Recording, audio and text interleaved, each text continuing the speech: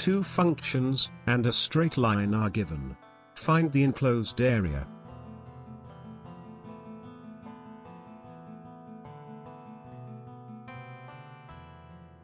Use this definite integral for the area, under the graph of a function f, between point A and the point B.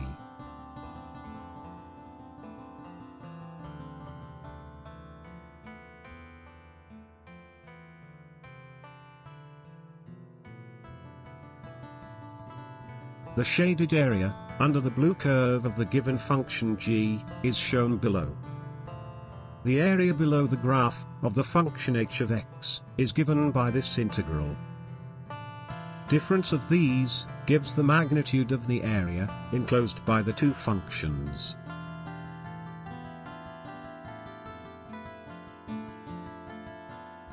Let's evaluate these integrals. For the integration of the exponential function, use these equations. Note the minus sign. Apply the upper limit minus the lower limit and simplify. Finally, here is the magnitude of the required area.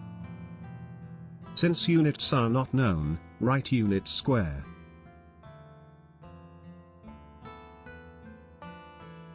Here c is a constant number.